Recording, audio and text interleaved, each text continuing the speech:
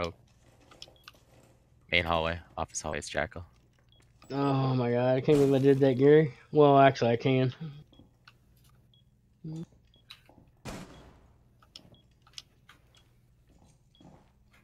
That got very close. That would be outside that door you're looking at.